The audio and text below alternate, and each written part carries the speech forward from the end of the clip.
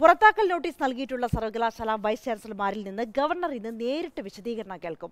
M G Kannur vice ചാൻസലർമാർ ഒഴികെയുള്ളവർ ഇന്നത്തെ ഹിയറിംഗിൽ നേരിട്ട് ഹാജരാകും. അഭിഭാഷകർക്കൊപ്പമാകും ബി സിമാർ ഗവർണർക്ക് മുന്നിൽ നേരിട്ടെത്തുക.